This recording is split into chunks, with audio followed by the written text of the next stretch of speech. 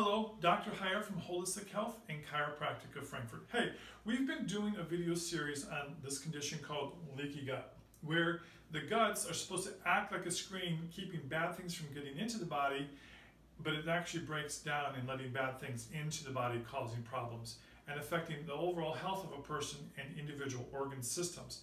And in particular today, I want to talk about the rest of the colon.